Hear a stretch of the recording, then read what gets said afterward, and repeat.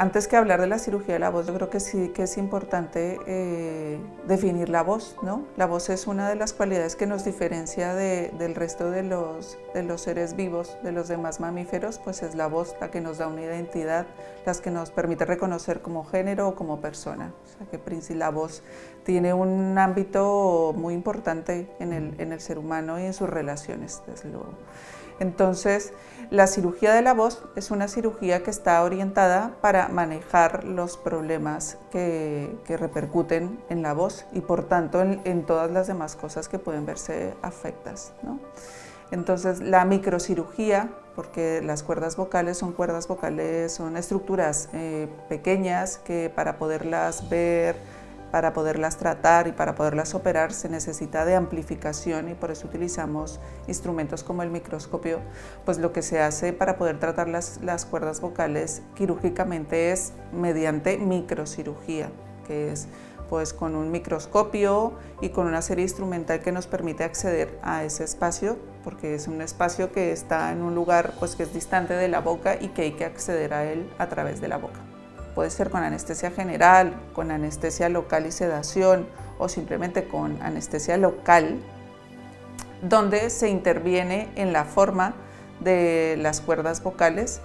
dependiendo pues la, la patología que genere el problema en la voz. Con la pandemia han sucedido muchas cosas, pues que, pues que no nos podemos ver, que utilizamos más los medios de comunicación telemáticos o teléfono para podernos comunicar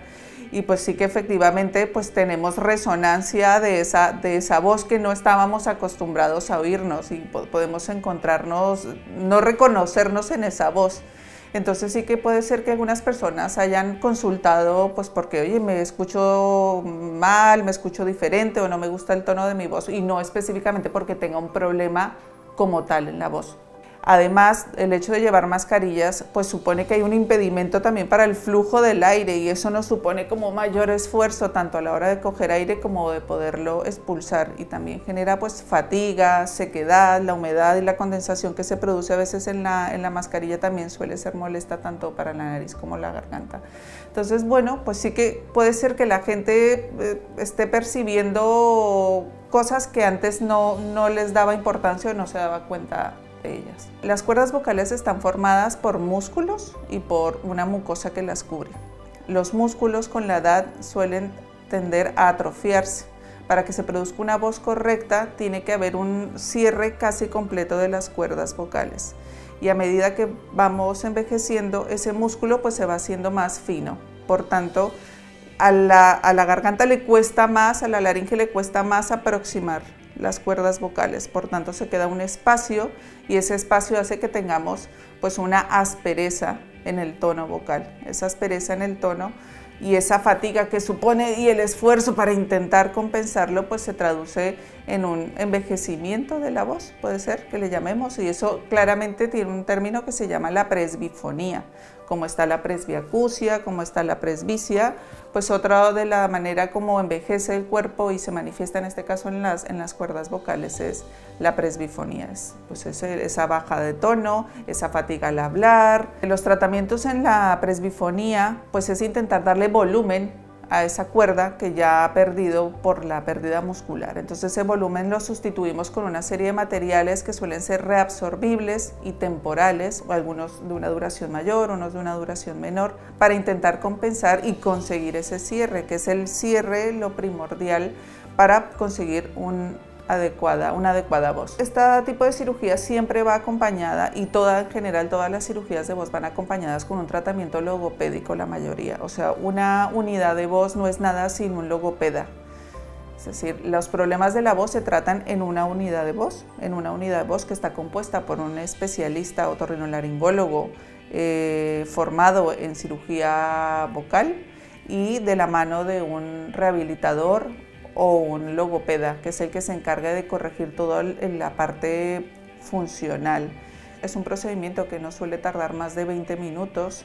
eh, se hace a través de la boca, por tanto no es necesario hacer incisiones en el cuello o en la boca o dejar cicatrices visibles. Se infiltra la medicación y se, y se sale y directamente cuando el paciente se despierte se le pide que hable, porque es importante que hable desde el mismo momento para que se distribuya la medicación y lo que hemos infiltrado en la cuerda y así lo haga de manera homogénea. Y al mismo tiempo una vez el paciente pues ya se va a su casa, que es una cirugía normalmente ambulatoria, que no tiene cuidados especiales, no damos antibióticos, simplemente damos un antiinflamatorio o un medicamento por el dolor, pues porque tenemos que utilizar eh, instrumentos que pasan desde los labios hasta las cuerdas vocales, bueno, pues que pueden generar algún roce o alguna molestia,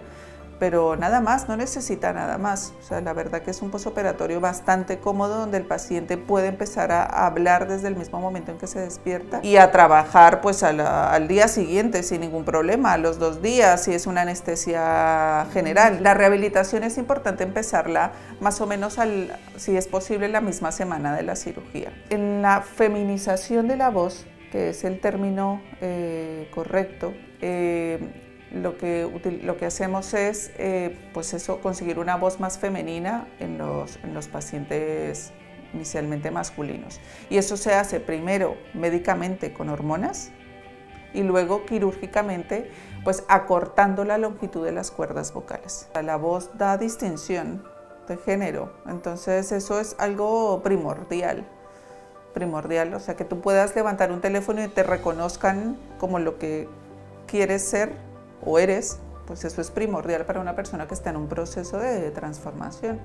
La masculinización de la voz, en este caso, pues está también acompañado de técnicas quirúrgicas, pero también de un trabajo de logopedia muy importante, muy importante, porque cuando estamos hablando, o sea, normalmente eh, este tipo de, de, pacientes no son pacientes que están haciendo cambios sexuales, sino son pacientes que se han quedado con voces infantiles que son hombres, pero que no han hecho esa transición a una voz más, más masculina y más de adulto. Entonces aquí el trabajo de logopedia también es muy importante, muy, muy importante, porque sí que anatómicamente tenemos una base correcta, pero quizás hay que trabajar en componentes musculares, para, para, poder conseguir otro tipo de, de, entonación. La voz cada vez pues cobra más protagonismo porque sin, sin esa herramienta pues no puedo desarrollar mi, mi actividad. Entonces esas son las demandas son esas. O sea, estoy todo el día, tengo que ir a una reunión, tengo que ir a otra y no alcanzo. En la tercera reunión ya estoy sin voz. El hecho de forzar la voz sí que puede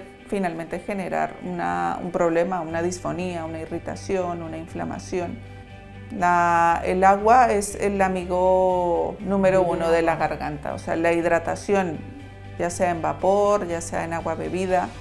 es principal. Para que la garganta esté y, y funcione de manera adecuada tiene que estar bien lubricada. Nosotros muchas veces a los pacientes les decimos el tratamiento es simplemente beber agua y hacer vaos.